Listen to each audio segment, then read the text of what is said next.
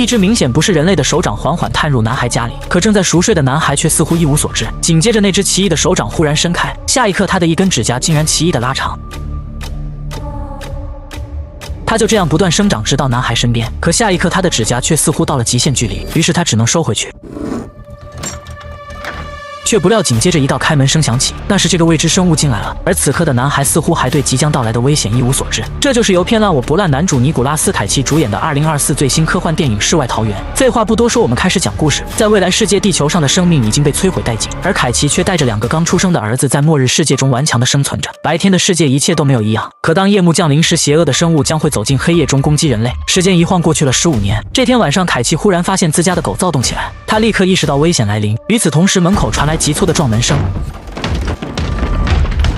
凯奇连忙和大儿子去挡着门，不让未知生物进来。第二天，他们开门一看，外面已经被利爪划拉开无数道抓痕。于是凯奇立刻开始修理房门，而两个儿子则被他第一次安排独立去搜寻物资。却不料半路上，大儿子吉姆非要节外生枝，他说自己要去附近的农场一趟，而且约定和弟弟在太阳落山前在路口汇合。无奈小儿子汤姆只能独自去搜寻物资。原来大儿子吉姆早已和农场主山姆大叔的女儿伊莎谈起恋爱，可是就在他准备回去路口时，却好巧不巧的出现了意外。下一刻，他一脚踩空。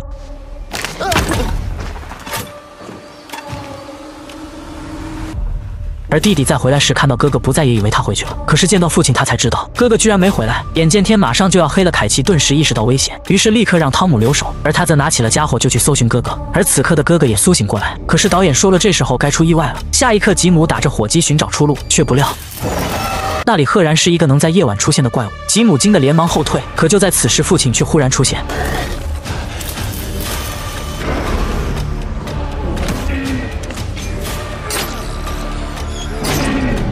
只是三两下，他就收拾掉了怪物。原来父亲是靠着家里的忠犬一路搜寻而来，而父子会合后，凯奇却意识到外面已经天黑，他们只能在这里过夜了。可是没过多久，父子俩却听到一阵声音从地下传来，下一刻地面顿时塌陷。凯奇顿时意识到怪物必定是要从地下出来，于是凯奇立刻往里面丢下一把雷管，而后用力一按。第二天，小儿子迟迟不见父亲和哥哥回来，于是立刻去找，这才在半路发现了昏迷不醒的父亲和哥哥。可等两人将父亲抬回家，才发现父亲伤势太重，除非有抗生素才行。可在这末日之下，这东西简直太珍贵，附近也只有农场主山姆大叔那里有。哥哥想起自己和伊莎的关系，于是立刻决定试一试。可等到了地方，他们却得到了山姆拒绝的答复。谁不知道，在这末日之下，药物简直是无价的。可是伊莎却在这时候站了出来，可她的分量显然还不够。山姆夫妇只是同意让经常来这里的哥哥吉姆留下来，还说这样可以为弟弟汤姆和父亲凯奇节省点物资。眼见哥哥不回来，汤姆顿时气愤的离去。可是他不知道吉姆这样做是有原因的。靠着和伊莎的关系，很快他就从伊莎手上拿走了一瓶抗生素。可他还没离开多远，一道枪栓声忽然从背后响起。毫无疑问，他被山姆的管家抓住了。他试图辩解是伊莎送给自己的，可管家却怀疑山姆留下吉姆是想换掉自己，于是立刻以偷东西的名义将吉姆捆绑起来，而且他要动用私刑直接处决他。在末日杀一个人，无疑跟踩一个蚂蚁一样轻松。却不料下一刻。管家竟然就此掉到这个刚出现的洞里，紧接着就在下面人的呼喊中，意外再次发生，那是怪物来了。就在此时，农场主山姆大叔起夜准备尿个尿，却不料山姆大叔顿时凉凉。而伊莎的母亲眼见丈夫没了，马上就要逃出房间，却不料紧接着怪物直接将他按倒，而后顿时就是一阵羊癫疯。下一刻，他在伊莎母亲惊恐的眼光中张开了大嘴。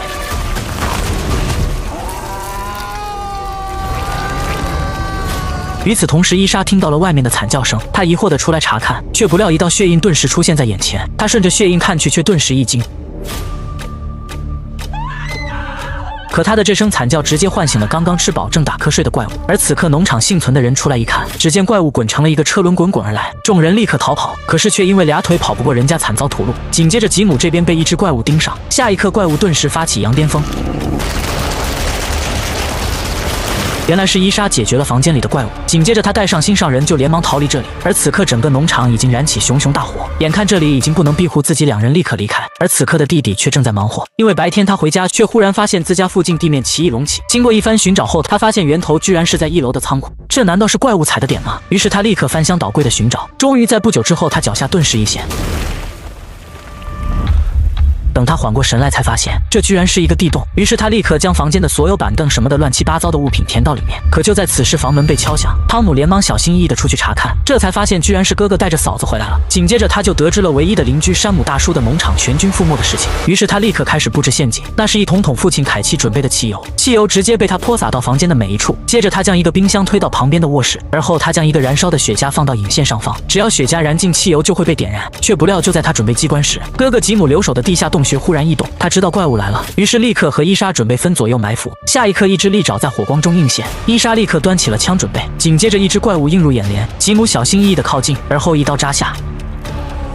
却不料怪物生命力极其顽强，直接反手按倒吉姆。而正要举枪救援的伊莎却被另一只怪物干扰。与此同时，吉姆再次抽出刀子，可下一刻伊莎身边怪物立刻开始发起羊癫疯。却不料，可能这就是大招前摇时间太久的坏处。接着两人立刻逃离洞穴这里，而后立刻和弟弟汤姆会合。紧接着他们合力抬冰箱就要离开，却不料一开门，凯奇竟然感觉到危险，再次站了起来。接着他一把拿过伊莎的枪，而后直接就对准了门外的怪物。下一刻他想到什么，连忙对着下面开枪。而此刻的兄弟两人也已经将冰箱抬到位置，可是凯奇对面的怪物此刻已经出现，却不料凯奇却拿起了棒球棍挑衅起来，于是，一只怪物立刻开启大招冲了过来。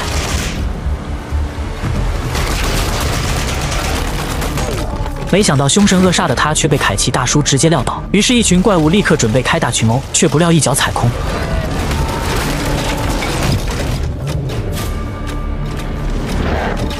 可是兄弟二人也立刻联手，凯奇也看到了两个儿子处理怪物的干脆利落，眼前的一幕让他顿时做出一个决定，于是他直接走出冰箱所在的房间，关上了房门。而此刻三人也已经准备好了冰箱，可是当他们发现父亲走了出去，也顿时一愣。尽管他们立刻冲来呼唤父亲，可是父亲却充耳不闻，无疑他要给孩子们尽量多争取时间。而此刻的引线也已经被引燃，哥哥连忙告诉弟弟，父亲是要牺牲自己，于是弟弟懂事的和哥哥钻入了冰箱，而门外的凯奇却看到眼前无数怪物开着大招冲来，紧接着一声爆炸传来。